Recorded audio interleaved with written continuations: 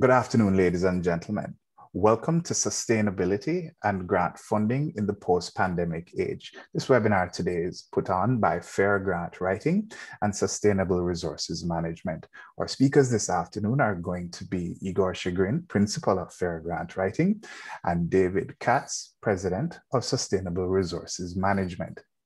And with those quick introductions, we shall jump straight into it. And I will now hand off to David to lead off our presentations this afternoon. David. Oh, thank you. Thank you, Igor. I'm going to share my screen. Uh, let's see if this works. So we have the um, slideshow. So I'm going to uh, discuss sustainability for businesses and have then Igor show you where the opportunities are for um, getting money to facilitate that.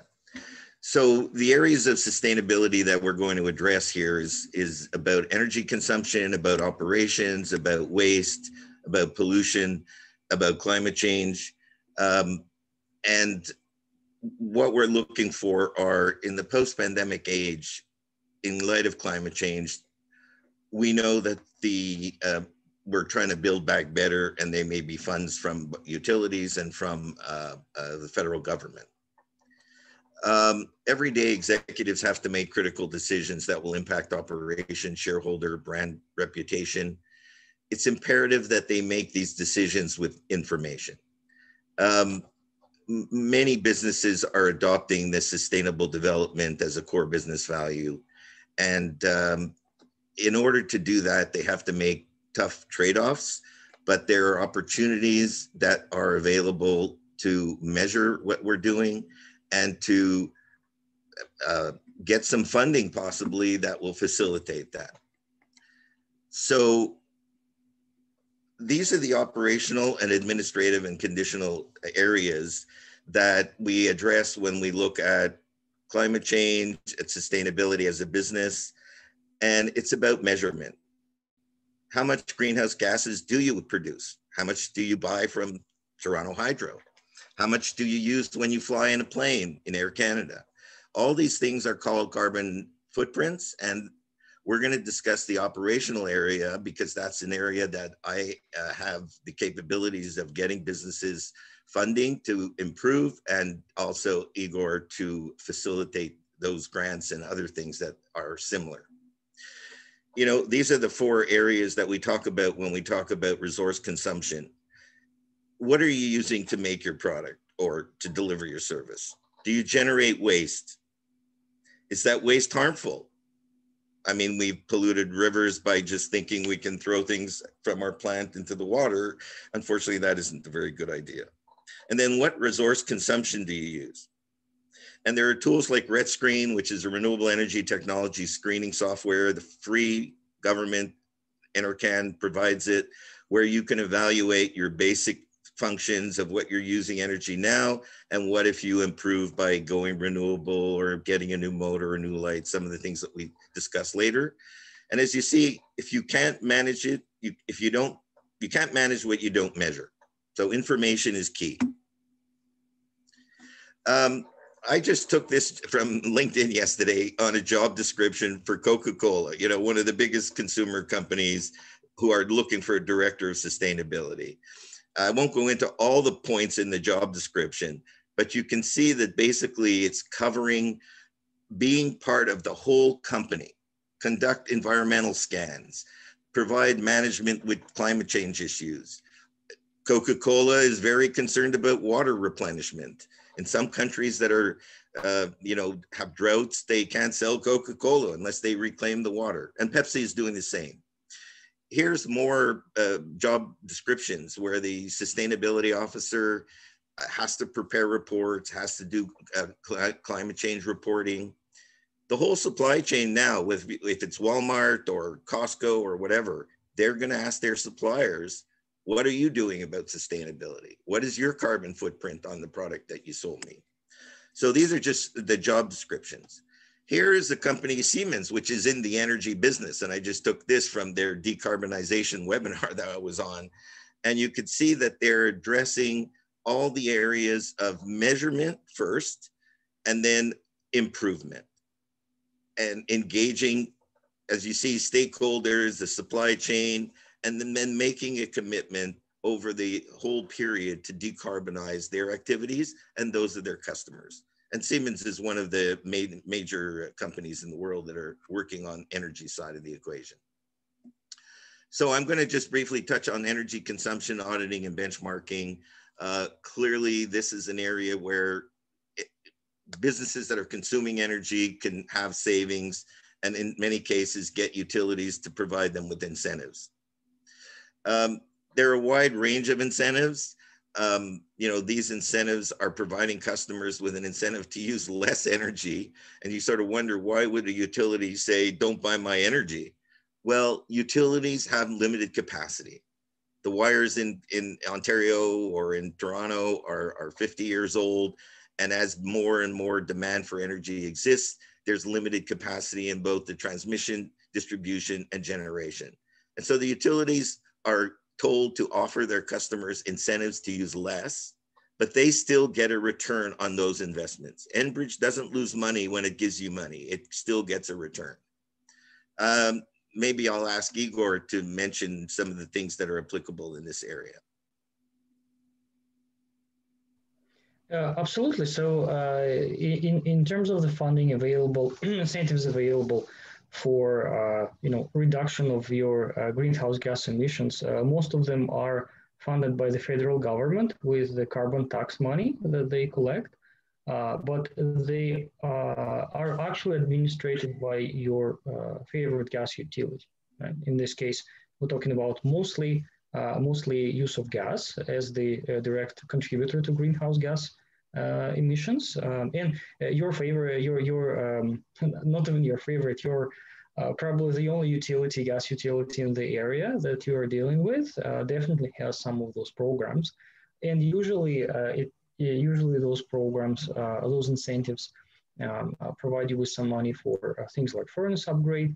Um, and all type of HVAC, all type, types of HVAC systems upgrade, because uh, quite frankly, if uh, uh, if if your business is not about let's say heat treatment or active use of gas in gas in an industrial process, the majority of the gas that you are spending is to heat heat the premises in the winter time and purchasing uh, you know, advanced HVAC equipment, uh, control and monitoring systems that can optimize the use of the gas. So all of that uh, typically qualifies yeah. for for the, for the subsidies. I'm going to, yeah, that's great. And so a lot of the electrical, including now process heating. So both uh, in some companies like, uh, you know, Fortis, they have both gas and electric. Um, in mm-hmm. Ontario, you know, it's Enbridge. And in this case, the IESO, it used to be with each uh, local distribution company. But clearly there's electrical savings in these areas. And generally their there are incentives to take out something old and putting something new. Uh, SaveOnEnergy.ca is one for Ontario, and in each province, you'll usually find your utility able to present that. So uh, both electrical, as I'm showing here, and the gas, and and even the building envelope, which impacts both electric and gas and gas heating, as uh, Igor just mentioned. So let me go on to also other things that are happening within the sustainability space, because here people talk about renewable energy. I mean, we're now talking about putting solar on roofs, uh, using uh, dynamic windows. So even if your business is, a, is an office or you have offices within your business, there are areas of improvement. And see, here are some of the things that are happening in smart buildings, in renewable energy, in the smart grid. Uh, you know, EV chargers that we'll mention later. You now can buy renewable energy credits as part of your sustainability challenge or opportunities. So that's one area. In addition, the grid and the whole energy system that we have, as you see here, this is from ASHRAE, is now changing to a smart gas grid where we're now actually storing the renewable energy, turning it into hydrogen and putting it into the gas system and also with batteries and thermal storage and heat pumps. So all these things now can be applicable to your business. There are technologies that are available. They can replace the old fossil generation thing. And as you see, whether it's a hydrogen car, what we hear about electric transportation, etc. All these things are part of what your business can do in a sustainable area. Even when now we're talking about returning to work and indoor air quality, um, you know, we th- we have young workers; they want everything on their app, and so even your operations can improve in terms of automating things, uh, touchless things. So many of the post-pandemic areas of improvement, especially in the real estate and the office space, will be when we return to work. How do we social distance? What are the rules that are going to still exist? And even after vaccination, as we see, we want less people to get flu, we want less people to be sick. And so we're seeing clearly that clean indoor air is critical, and our company and others have technologies that help you improve that area.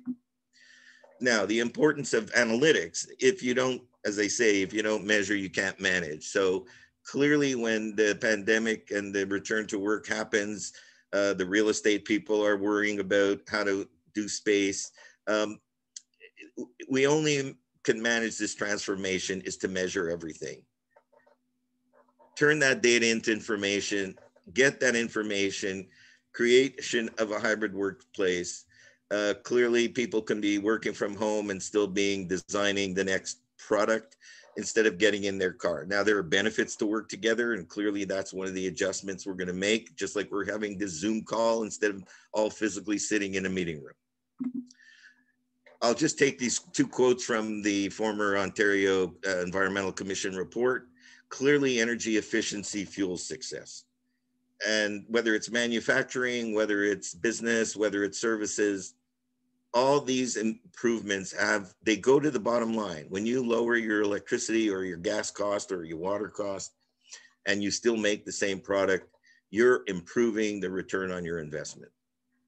And then those that buy your products, whether it's investors in your company or customers, when they see that you're doing something and you have a green product or you have a product environmental description, which is soon going to be labels on every product we make, these are the areas where you can be more sustainable and which is going to be the businesses of the future. It doesn't mean that we don't make money. It doesn't mean that we're going to not use any fossil fuels, but we're going to try to make things more renewable, less fossil fuels, more energy efficient, and better for the environment. I'll let uh, Igor mention some of these incentives. Uh, I'm familiar with the energy performance contracts, and basically, if you if your business or building doesn't have the money to change, then there are people that will lend money to you and and give it to a performance contractor who will put in the necessary equipment, make the changes in your boilers and your electrical panels, as long as the savings are used to pay back those loans. And there's a benefit to you and how it goes to your bottom line. So maybe uh, Igor, you might mention some of the issues around these uh, programs and what they might be in terms of, uh, you know, accelerated depreciation and things like that. Mm-hmm. Yeah, absolutely. So, well, uh, for, first of all, uh, this is just a snapshot of uh, what's available. Uh, you know, in, in, reality, there are uh, way more programs, but we just cannot fit all of them uh, into this presentation. So, in, in, different ways to you know to address your energy efficiency uh, issues. Um, so, we'll start with uh, what's probably uh, what what all of us as you know individuals, if we own homes, we're waiting for the new interest-free loan from Canada Mortgages and Housing Corporation. So that loan is uh, again funded by the federal government, but will be administered by uh, um, CMCH. HC? Yes, CMHC.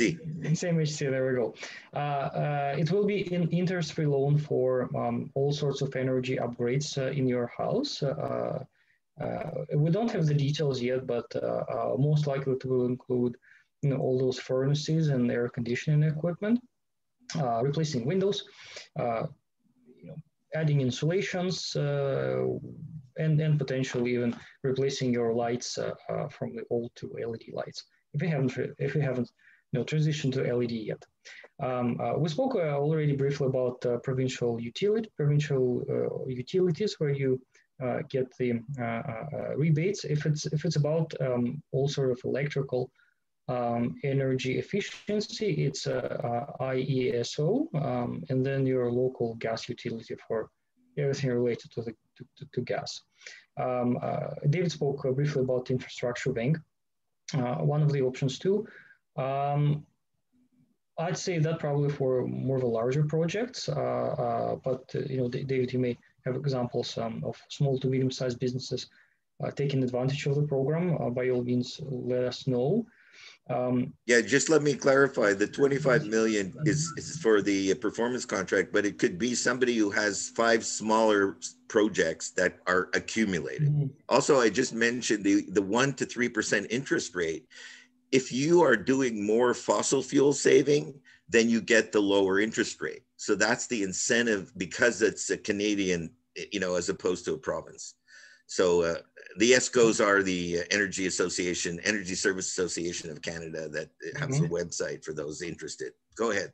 Yep, uh, perfect. Uh, then uh, what else is available? Uh, there's a number of uh, training and hiring type of funding that may be used for both, you know, educating your employees in the better use of energy, or even training and dedicated energy uh, energy manager at your facility if it's large enough. Um, all sorts of training. The government doesn't dictate you what kind of training you should take. So uh, any type of training that you know results in energy efficiency is definitely qualified. Um, uh, there is also um, a way to write off uh, your expenses on the energy efficiency equipment right away. That means that normally, uh, uh, until those change, before those changes were introduced, uh, when you buy a piece of equipment, doesn't matter what equipment, uh, if it's over a certain threshold, you you have to, so you have to um, break down the costs uh, of that piece uh, and basically depreciate it over the next five or maybe even 10 years. However, this requirement is now removed for certain energy efficiency pieces of equipment. Uh, and also there are some incentives for the manufacturers of those, um, uh, of those uh, energy efficiency equipment. Uh, now, if you are buying certain equipment, you can write off the expenses right away in your first fiscal year and be done with it. I think that's a great uh, opportunity, uh, especially if there's no other incentive available for whatever reason for you going uh, closer to the you know electric reality on the roads, uh, there are incentives to building for building uh, charging infrastructure in Canada. Um, if you own a facility and you want to put uh, uh, a charger for electric vehicle in, in, in, in your, your parking spot, there are programs and incentives for, incentives for you to do that. Um, and there are also several programs with uh, National Research Council um, and um, uh, uh, SDTC, which stands for Sustainable Development Technology Canada, is an organization that handles um, government funding for developing all uh, new solutions that, re that, that, results in uh, developing uh, new technologies that reduce greenhouse gas emissions um, and also contribute to clear water, clear air, and clear soil. So uh, if uh, you are developing this type of technology, then you can use a combination of um, uh, NRC, National Research Council, and, and, and SDTC funding programs to develop your technology further. Great. So thank you very much. I'm uh, David Katz. As I said, you can see me on LinkedIn. You can uh, go to my website, put in your contact information, uh, connect with me, and we can do an assessment of what you're spending your money on. What is it for sustainability that you can do? I've been doing this for over 25 years.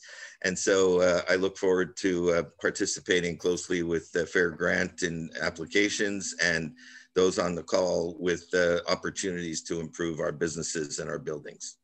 And with that, I'll turn it back to you. Is that right, Colin?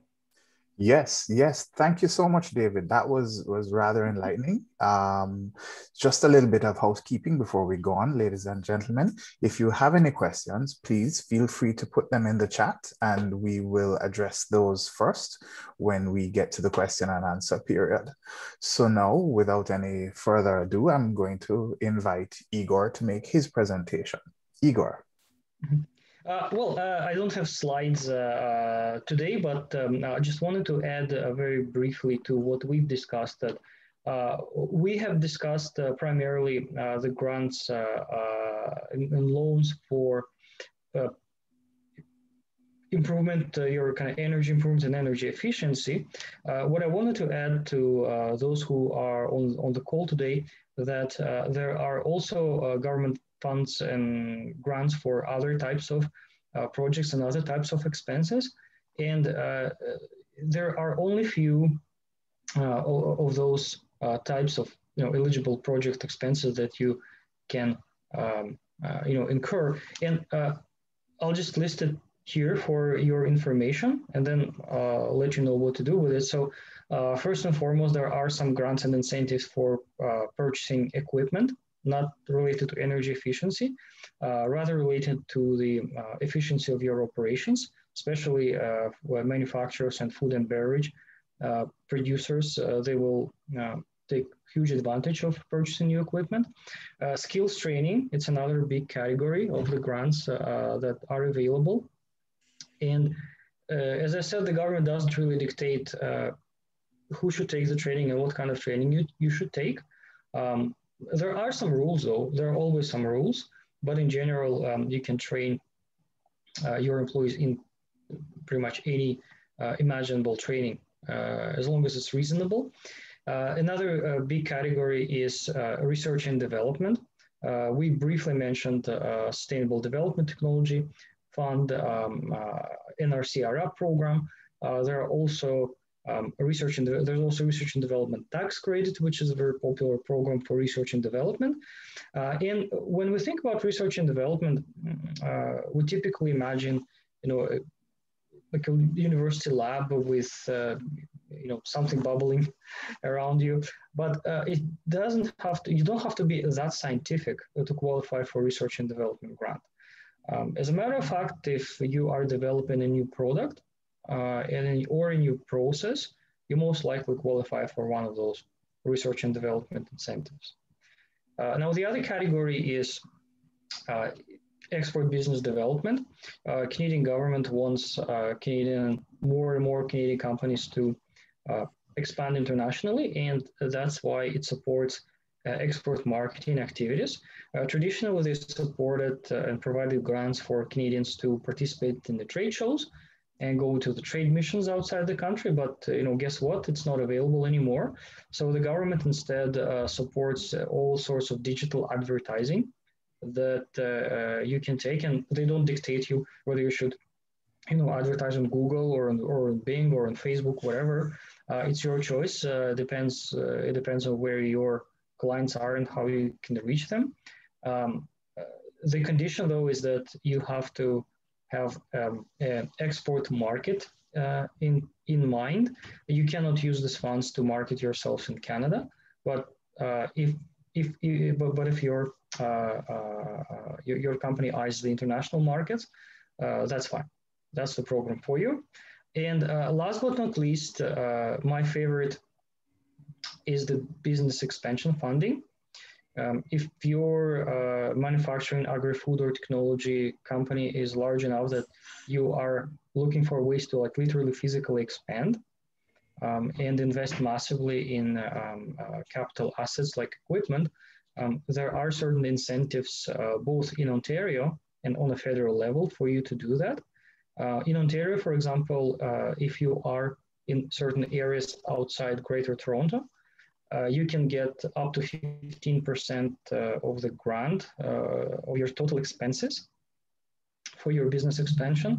Um, otherwise, uh, in Ontario, you can get 35% of your business expansion, expansion expenses as the interest-free loan. And the interest-free loan has its advantage advantages. And first of all, it's an interest free, so you save a lot on interest. Uh, but also because it's a government loan, um, it's also a no collateral loan, a no security loan, and uh, it has a very um, uh, good repayment policy. You don't have to. Actually, you don't have to repay it until your project ends.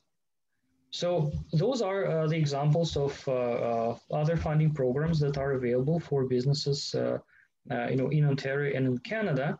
Uh, and my last piece of advice is to visit our website. And on our website, we have a contact page, and on that page, you'll find an eligibility check form. So that eligibility check form is absolutely free to fill out.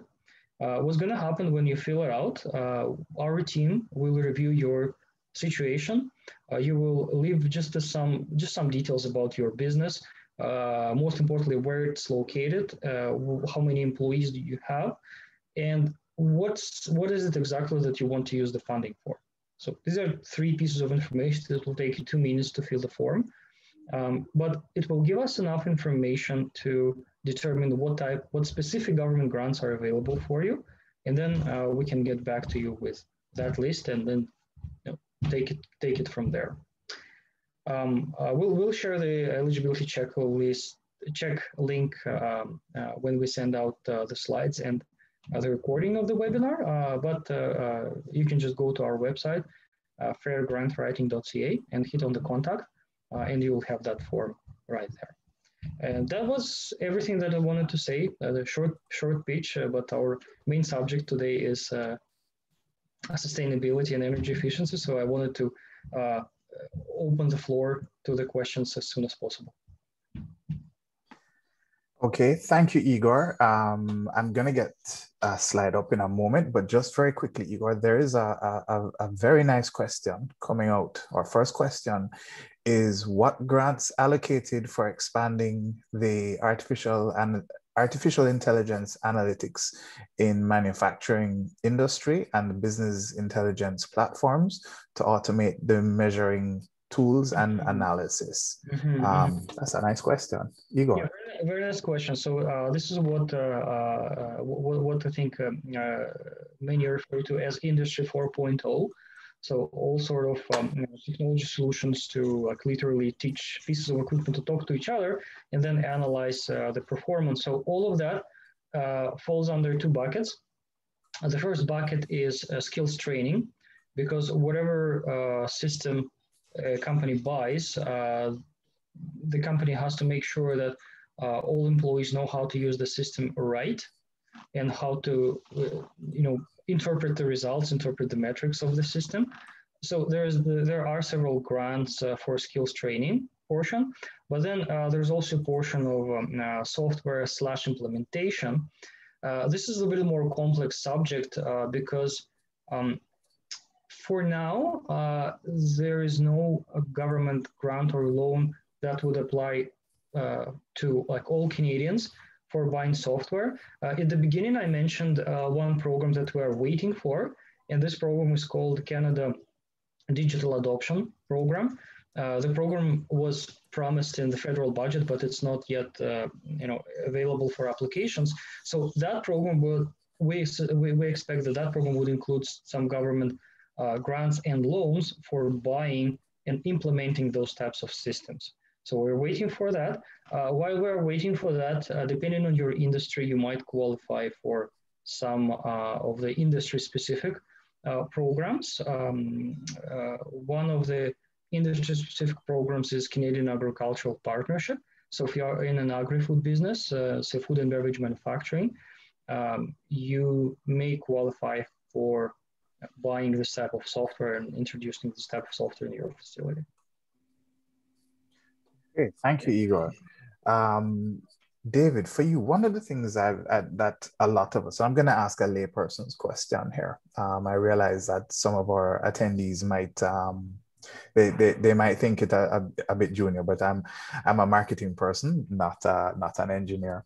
We often hear the term um, energy audits. Now, coming from coming from my knowledge of things, we always used to be on on various cost saving initiatives, trying to save money, turn off lights, all sorts of things like that. But I get the I get the impression that an energy audit program is somewhat more involved than that. Could you shed a little light on that, please? Yeah, well, you see, as I said, you if you don't measure, you can't manage. So first you have to know what it is you're using. So an energy audit reviews your current use of energy and where it's applicable. Just getting your Toronto Hydro bill or your Enbridge bill doesn't tell you how much you use to make hot water and how much you use to heat your home. You have to look at those. We have tools that have weather regression capabilities. So there are three levels of audits a class one, which is just show me your bills and show me your old light, then we can improve it with a new LED that you can get at Home Depot. To a level two, which is what are you doing with regard to specifically each piece of equipment?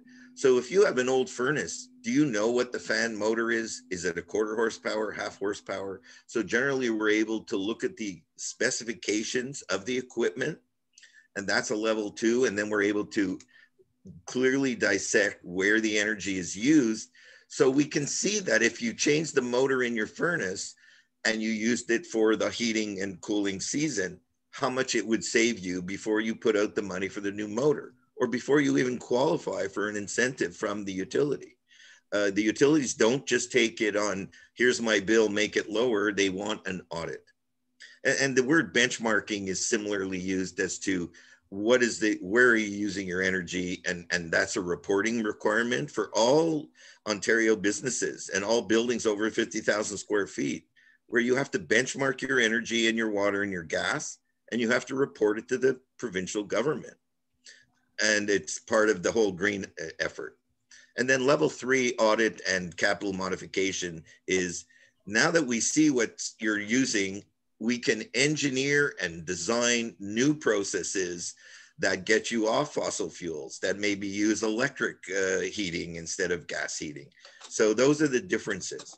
So the word audit is not a, an accounting sort of term. It's more of a, an assessment. Does that okay. help you call it and those yes, on the call? yes, it, it, I'm, I'm, I, I certainly learned a little bit from that. Um, but what I want to do is jump from that question and over to Igor um, when we when we do all of these things, um, one of the questions we get asked frequently by our clients is about stacking of grants. Mm-hmm. Now, when we have situations like this where in the midst of doing a major company expansion and we're getting grants for training we're getting grants for um, software we're getting grants for construction in the midst of this a company wants to say at the same time we're going to get, we want a, a energy um, conservation loan to be able to put in new LEDs, new this, new that. Um, will the rules of stacking permit adding something like this in addition to getting loans, uh, sorry, grants for mm-hmm. software training, stuff like that? Yes, uh, in general, yes, uh, because you know the the, the object uh, in many cases the object and eligible, specific eligible expenses uh, within different programs, they don't overlap. So for example, uh, yeah, you can use energy incentives to you know, change your lights at the plant, um, eh, or you can use say a software grant for one of those energy management software systems to uh, to um, implement. So in other words, in this case, you don't even have a case for the stacking uh, because you use two different programs for two different expenses. However, uh, in, uh, in the summer air events, uh, the overlap could happen. And in this case, stacking rule typically, it depends on the program, but typically it's between 50 to 75%. In other words, uh, in many cases, you can use multiple programs to pay for the same expenses, but only up to a certain limit. And limit is usually 50%, uh, in some cases 75. Okay.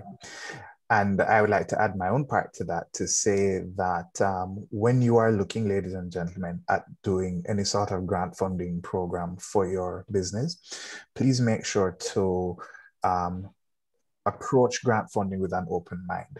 Because while you might see that your expansion project is going to allow you to or going to require that you get your staff trained there may be other parts to your project that could qualify for grant funding. Or indeed if you're doing a particularly large group of projects perhaps you could roll them up into one of the larger grant programs which could end up with you getting a lot more support for your business.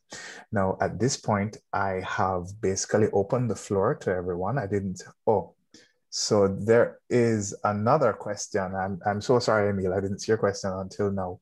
So uh, let me, before I get to Emil's question, let me just say what, finish what I said I have done.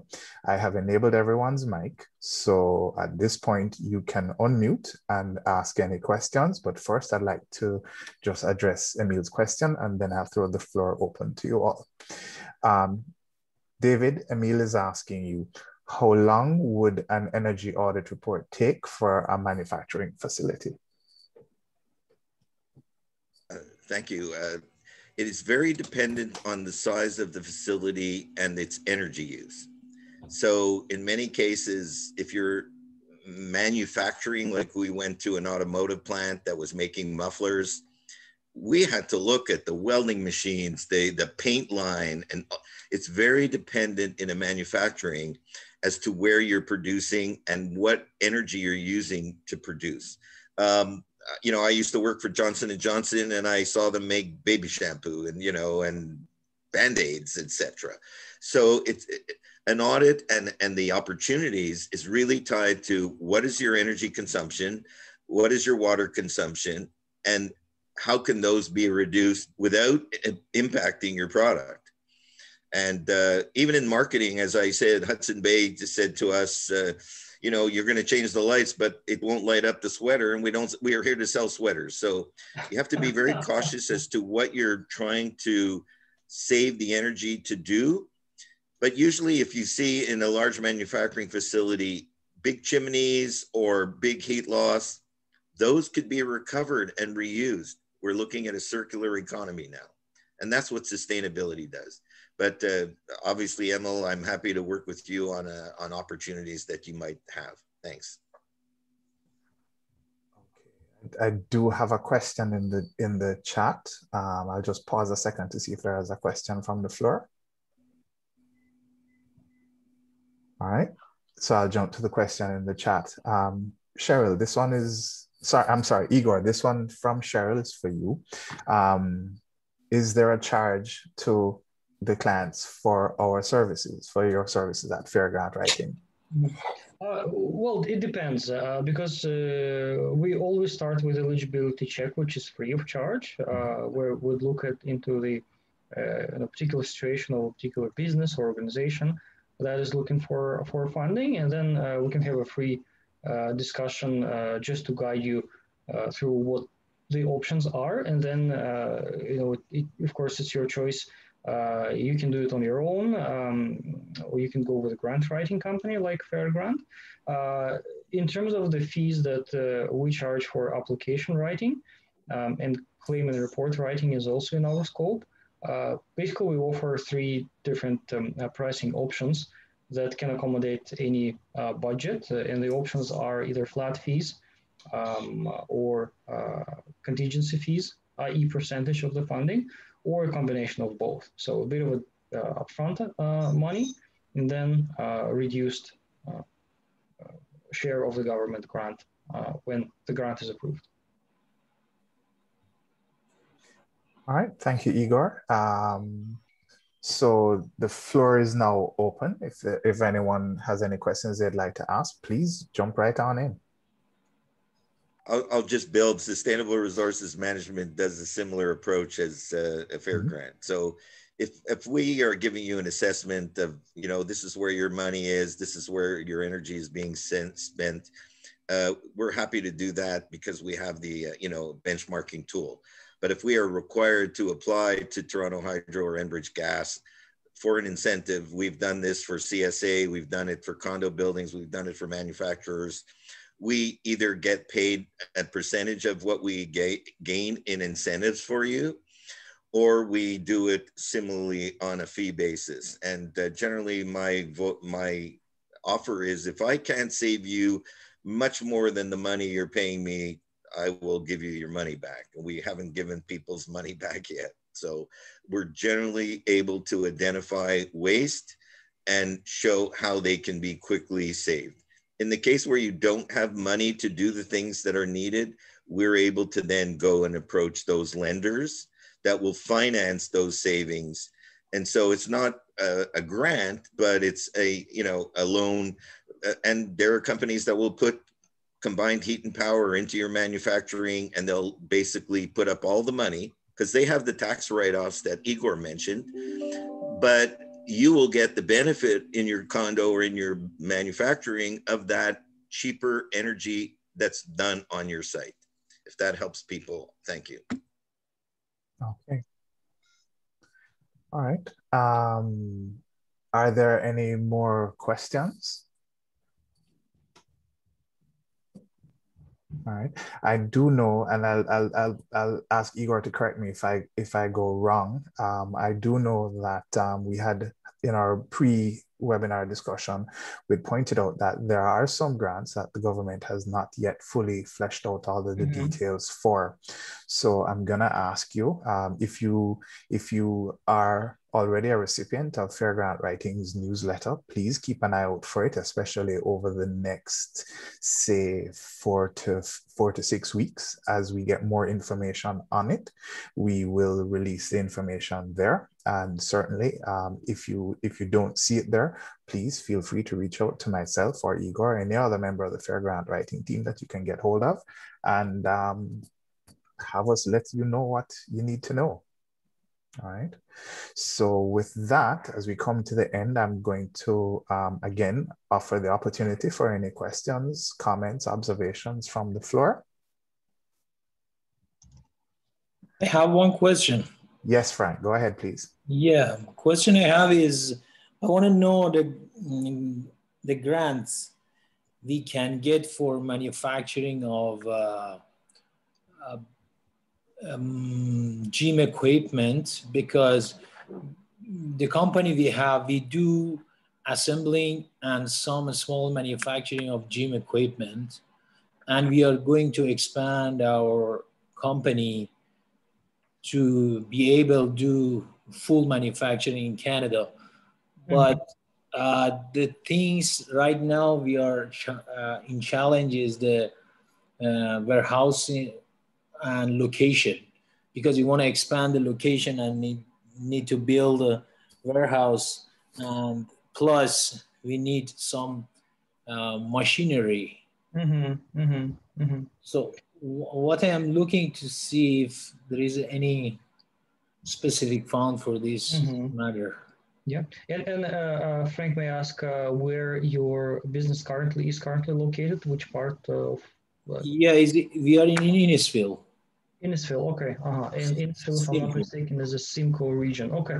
No, that's good uh, because in your region, uh, actually, there are uh, certain grants uh, for expanding your business and operation. Uh, we'll, we can get one-on-one uh, on the call and figure out the details of you know all the fine print of the program. But in general, yes, there is a grant that may be up to 15% of your expansion costs Mm-hmm. Uh, as well, uh, well, uh, like if you are staying within within Simcoe region or like within um, uh, Western Ontario, uh, and then uh, on top of that there is an, um, two options. One option is being um, the federal interest-free loan called Business Scale Up and Productivity. Mm-hmm. And lastly, a commercial loan, but with a guarantee from the government. Uh, Canada Small Business Financing Program uh, is the loan uh, that you can from regular financial institutions, but 85% of the amount of loan is guaranteed by the government. In case if something goes wrong, uh, the government pays back 85% of the loan uh, back to the bank, and uh, you only guarantee 15%. Okay, so how's the process? If you want to start this process or mm-hmm. get more information is it possible to send us or we can send you uh, one email and explain on the email exactly what i was talking? Yes. and then you can yeah. Yeah, if you have the budget already, or at least you know some rough ideas what type of expenses will be included, um, uh, shoot me shoot, shoot, shoot me an email, and then uh, we'll call you back uh, and we'll discuss all of that. And okay, yeah, yeah, I, I, I already have your email address, but anyway, mm -hmm. okay, perfect. Uh, another another business we have is very very close. is, is actually the same concept, but that is uh, Argo Nutrition, which is sports supplement manufacturing. right now, we do manufacturing, but we we don't do it by our own manufacturer. We do only packaging here. Yes. Uh, mm -hmm. them, but we have a plan to make this mm-hmm. production here. Your own. Okay. Okay. Uh, regarding this matter, do you think anything else we can do? Yeah, it's more or less the same programs. Uh, we just need to figure out, okay, whether these are two separate legal entities. If so, uh, there will be uh, same eligibility check rules that we need to apply to two uh, separate business entities. That's all. Okay. Mm-hmm. Mm-hmm. okay, perfect. Thank you. Yeah, there's that it sounds like there's quite a bit for us to to to speak about, Frank. Um, so I have well, just if, if I may, Colin, just to add to Frank's comment and Igor's, when you expand and when you look at a facility, uh, it's an opportunity to get an energy retrofit at that time. Yes. Like that's part of that. Many people buy mm-hmm. old buildings and they move in and they start and then they try to retrofit. You know, then they look at. So just right. let you know there may be a possibility to help you in that regard. Okay. Yeah. yeah, and that goes back to the point of, of when you're when you're undertaking an expansion, um, take a step back and look at the big picture of what you're doing. There might be a tremendous lot of opportunities for grant financing and um, interest-free loans from the government. All right, so I will throw it one more time to the audience and our panelists to see if there are any questions, comments, observations. Okay, and with that, unless somebody jumps in real quick, I will um, basically bring the today's webinar to an end. I would like to thank um, Sustainable Resources Management um, President um, David Katz and Igor Chigrin, um, Principal of Fair Grant Writing. I'd like to thank you both for your presentations this afternoon. I would especially like to thank our audience. It's been a pleasure hosting you and and addressing your questions. So thank you all very much and have a wonderful day.